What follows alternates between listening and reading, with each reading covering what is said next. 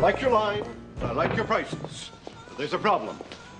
There's no guarantee on the box. But it's not on the box. It should always be on the box, comforting you, calling out, I'm good. I'll never let you down. But if I do, I'm going to make things all My customers need to see that little label looking them right. You want to talk about guarantees, then... Fellas, you just ran out of time.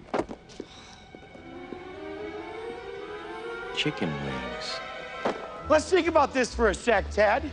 Why would somebody put a guarantee on a box? Hmm, very interesting. Go on, I'm listening. Here's the way I see it, Ted.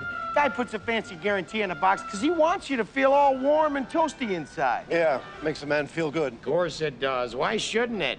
You figure you put that little box under your pillow at night, the guarantee fairy might come by and leave a quarter. Am I right, Ted?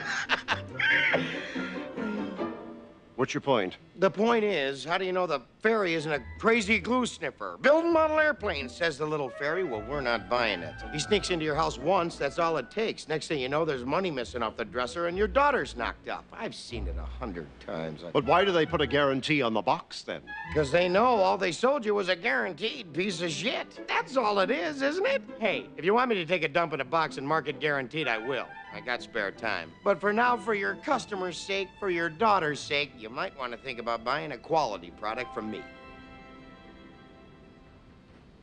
Okay, I'll buy from you. Well, that's... What?